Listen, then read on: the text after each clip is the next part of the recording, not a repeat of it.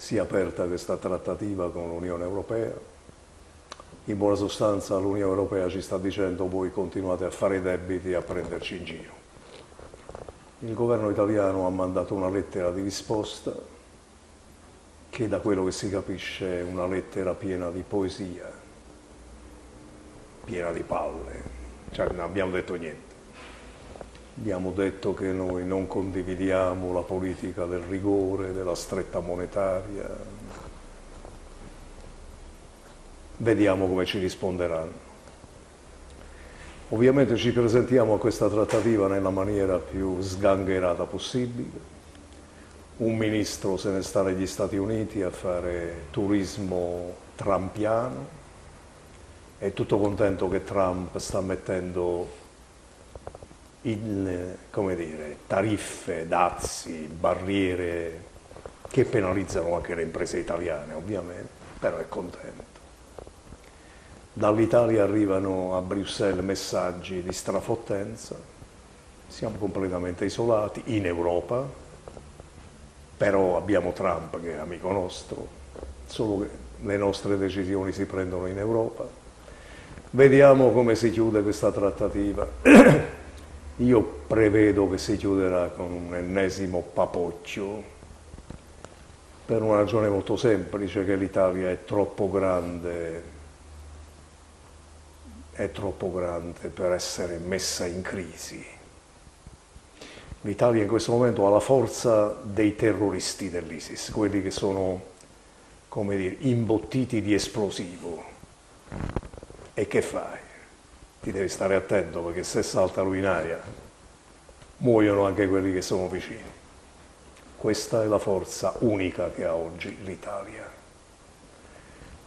Venendo a noi, sono due gli elementi di preoccupazione che dobbiamo avere. Primo, che non ci sia una crisi finanziaria nel nostro Paese, perché questo farebbe saltare il risparmio delle famiglie. Secondo, dobbiamo fare attenzione a decisioni dell'Unione Europea che potrebbero bloccare l'invio di finanziamenti europei all'Italia. Questa sarebbe una tragedia, soprattutto per il Sud. Quindi al di là delle procedure di infrazione, se l'Europa decide di raffreddare i fondi europei, noi ci facciamo male. Noi soprattutto sud del Paese. Aspettiamo l'esito di questa trattativa e speriamo che la presenza discreta e autorevole di Sergio Mattarella aiuti l'Italia a uscire da questa stretta senza troppi danni. Certamente eh, ci vuole molto di più che il reddito di cittadinanza, che peraltro insomma, si è già raffreddato, siamo una bolla di sapone che si è già eh, in qualche modo sgonfiata, visto anche il flop dei navigator. No? Insomma, la gente ci crede di meno a questa misura. Ma sinceramente è un'altra grande palla. Credo che sia chiaro a tutti quanti che siamo di fronte ad una misura di pura clientela politica. Ora intendiamoci bene le aree di povertà vera vanno tutelate. Questo è un dovere nazionale. I pensionati al minimo vanno tutelati, ma poi bisogna investire tutte le risorse per creare lavoro, non assistenza. L'assistenza prima o poi finisce, quello che dà dignità a una persona e dà a un giovane la possibilità di farsi una famiglia, di comprarsi una casa, è il lavoro. Il lavoro.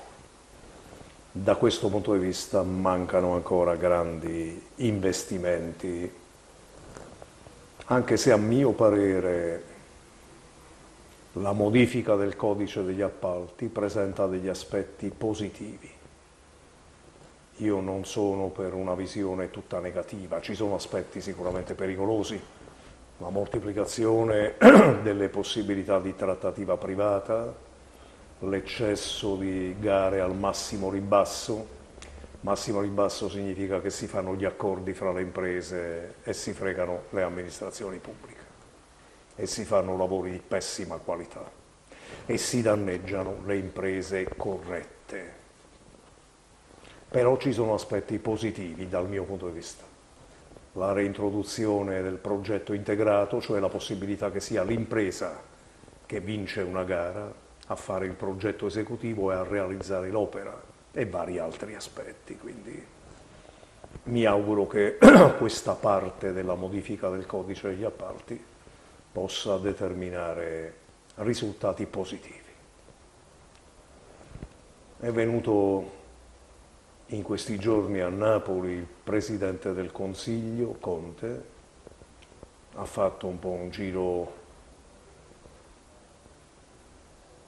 è stato a San Giovanni a Teduccio a visitare il polo di ingegneria, si è dimenticato di dire che quel polo ingegneria è stato finanziato totalmente dalla Regione Campania negli anni precedenti, finanziata da noi, questa giunta regionale, per altri 50 milioni di euro, e che la Apple fa la formazione grazie ai 12 milioni di euro che investe la Regione Campania per pagare le borse di studio per gli studenti, altrimenti questa presenza della Apple che tutti vantano come un segno di dinamicità non ci sarebbe semplicemente, solo che nessuno si ricorda di dire che la Apple è a Napoli grazie alla regione Campania e basta.